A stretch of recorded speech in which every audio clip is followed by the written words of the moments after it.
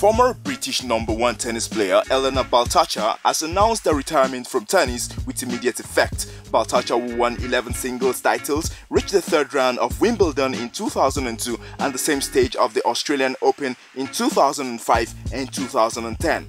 The Scot reached a career high ranking of 49 in 2010 but struggled with injury and illness during her career. Baltacha was diagnosed at the age of 19 with primary sclerosing cholangitis, a chronic liver condition which comprises the immune system, but she went on to enjoy a successful career representing Great Britain for 12 consecutive years in the Fed Cup and competing at the London 2012 Olympics.